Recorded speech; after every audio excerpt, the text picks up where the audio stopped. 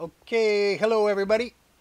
Uh, I figured since I'm going to do a turtle soup recipe, I might as well show you where I get my turtles from. no, not really. You can't buy turtle meat anymore. Uh, it is pretty good though, but you can't buy it anymore. Alright, so anyway, sit back and enjoy this uh, video, and uh, I will see you later. Okay, bye-bye. Wait, not yet. Having trouble lighting this thing. Come on. There you go. All right. This should do it, I hope. Come on, baby. Ah, there. Man, again. I'm not real good at this, but I try hard. Okay. All right, I got to go. This is it.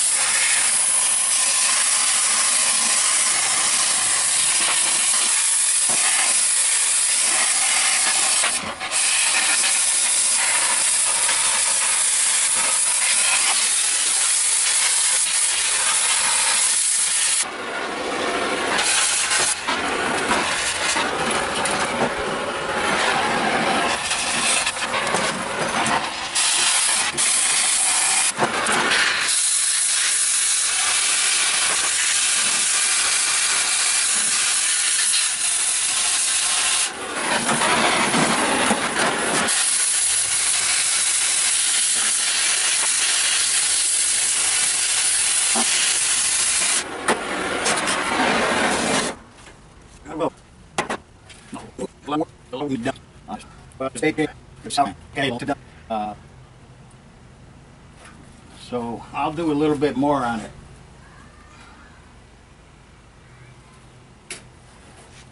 For today, but some of it's got to be done on the inside of the house. I have actually had turtle soup before. Back back in the 70s.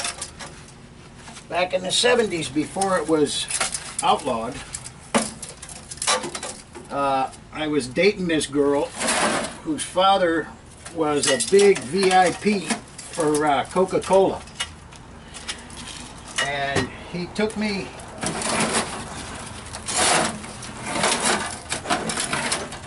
he took me uh, to a country club. I guess it was his country club, I don't know. And um, we had turtle soup. And I got to tell you, it was very, very good. It was really good.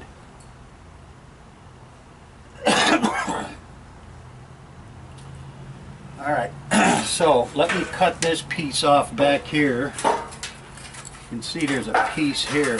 Let me see. I might be able to pull it off. Oh yeah, oh shit, I just want to bend it.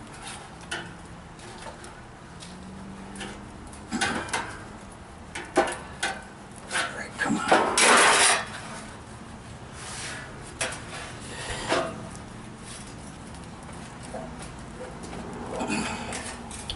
There we go. I didn't have to cut that off at all. All right. Now what I to do is I want to want to burn the paint off the head and the flippers. That way the um, that way the shell will stand out.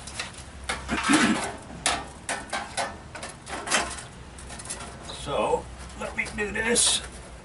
I'll burn the head first.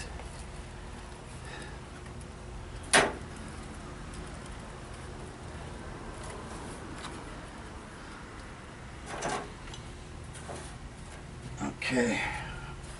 I don't know if you guys can still see this or not.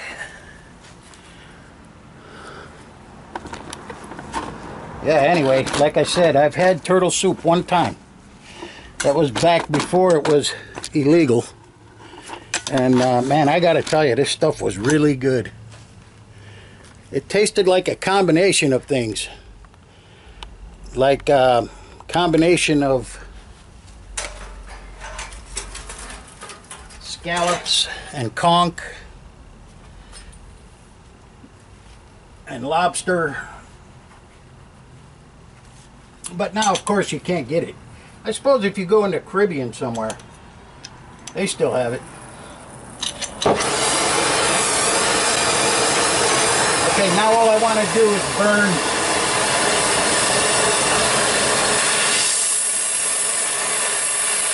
I just want to burn the paint off.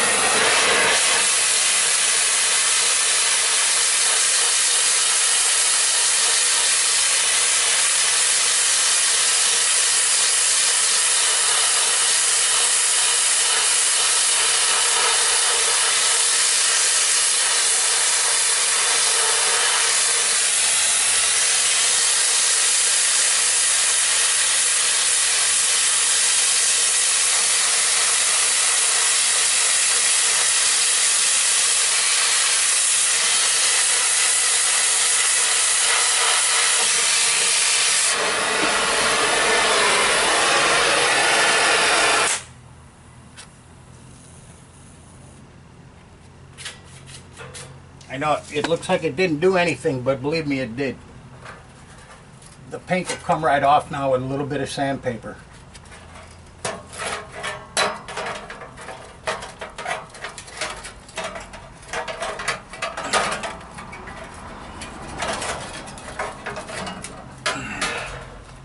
What I'm doing is I just want to make the the uh, the head and the fins and the flippers. I want to make them look different.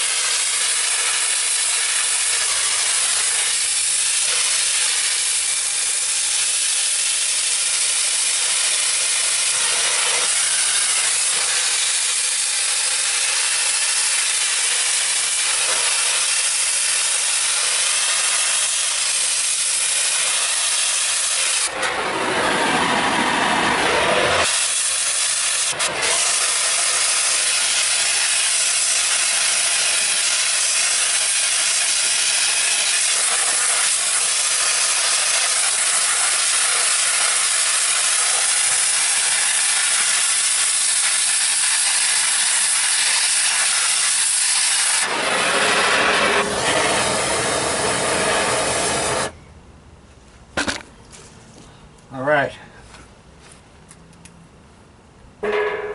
Now the next steps are to take it inside and I'm going to sand it. And then what I'm going to do is I'm going to take my 3D pen and I'm going to you know put the line uh, put the details in the shell with the 3D pen. All right, all of this is going to come off. See, it's it's going to turn uh, it's going to turn to metal. This, and the shell I didn't burn, so not a problem. But anyway, the 3D pen. Uh,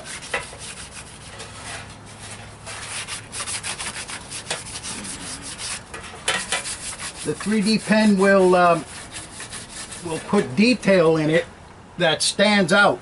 It's 3D. No, it's not a regular pen. It works with the filament. I'll show you all through the steps of what happens here. Um, okay, anyway, once I get the detail in on the shell, then I'm going to polyurethane the whole thing. They look pretty good when they're done. This is actually only the second turtle I've ever done. But all the other stuff, you know, looks really good when they're finished. All right, I'll tell you what. I can do I can do one more fish and then I'm going to go in. So, hold on one second.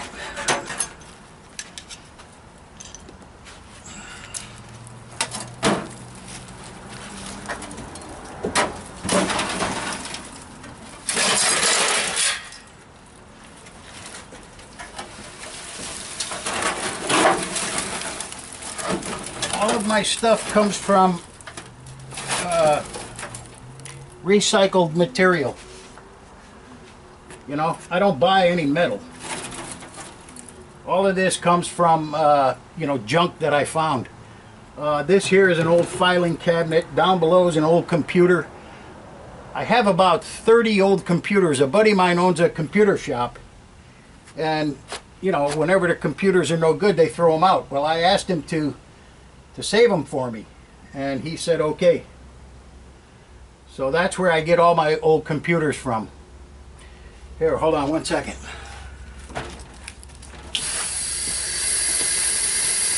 Whoa. Didn't mean to do that.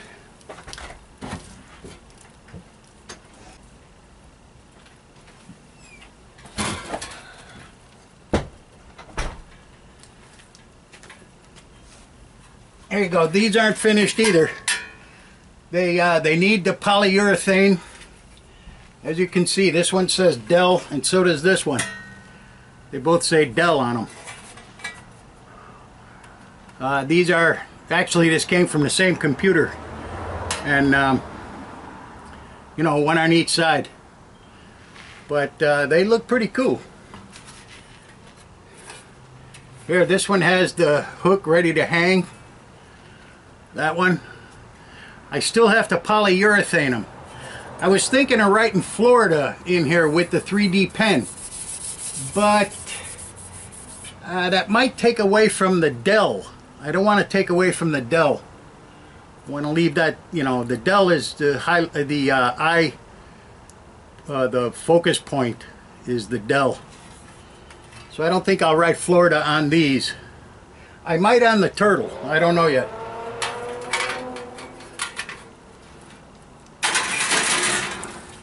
But one thing for sure, they last forever.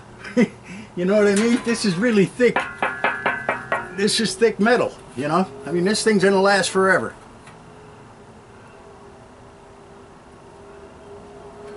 This one I have to fix the mouth. And on this one I have to put an eye. I'm to put an eye with the 3D pen. I could burn it in. That doesn't really matter. Alright. So, let me, I'm going to do one fish here.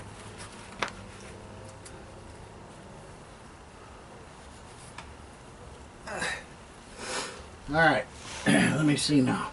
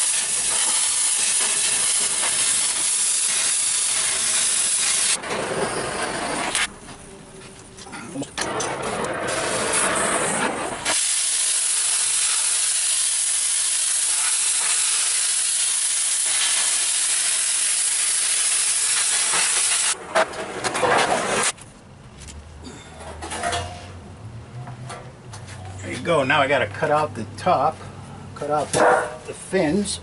Ah. Okay.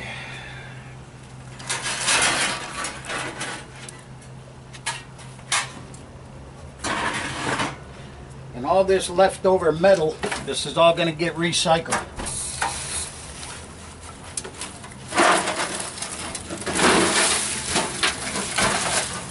I've got a washer and dryer that are ready to get cut up.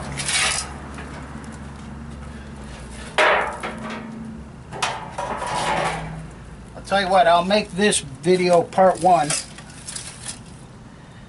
And, um, you know, and then when I get to the next step, uh, I'll make it part two. And then the final step will be the, the, um,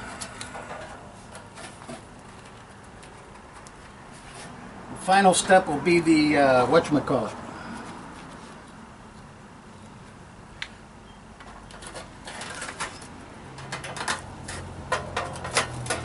I forget what they call it already.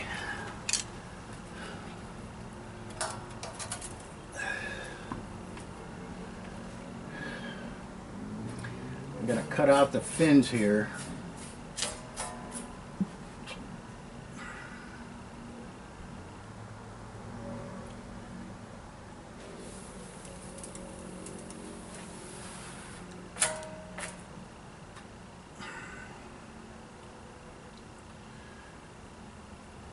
The final step will be the polyurethane.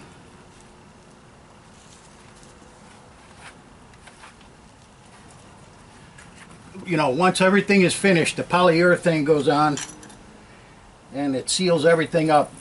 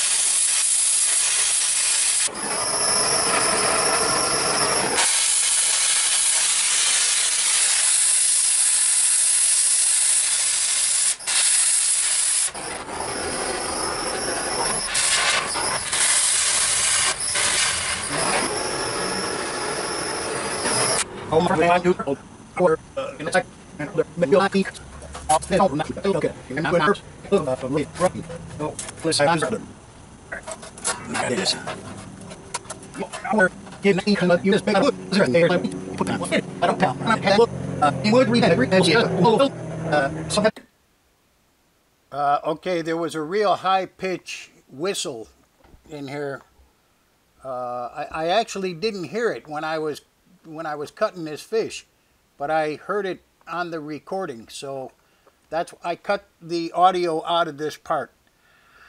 Um, what I was saying here was that uh, my friends told me to use a a um, what call it a uh, to use a um, uh, arc welder. An arc welder is electric and you can get a real fine detail with an arc welder.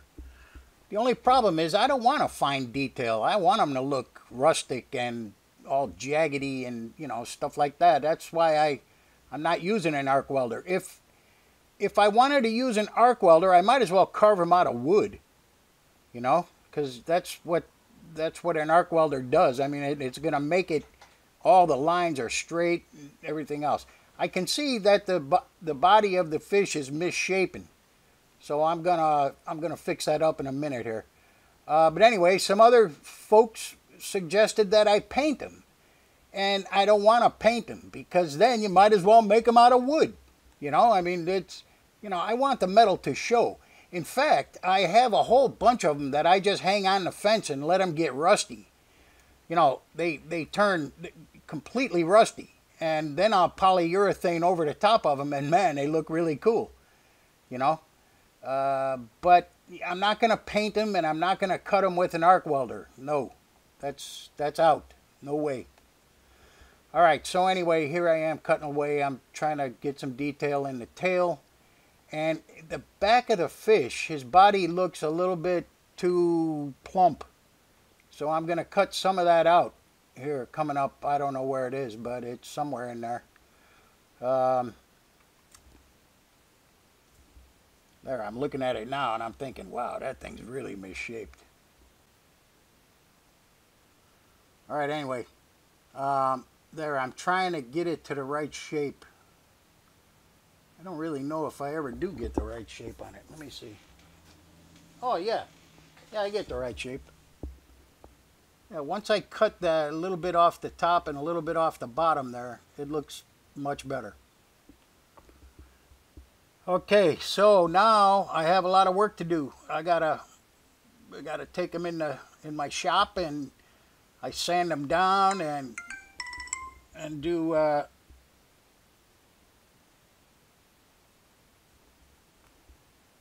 and um, hold on let me uh, let me get to with this guy here. Hold on.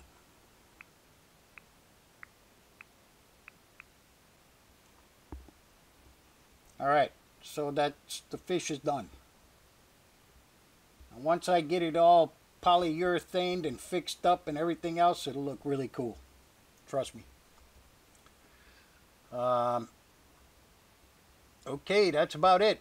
I got to get going you might be able to find this someplace else around town, but you ain't going to find it any better than this. See you later. I got to eat.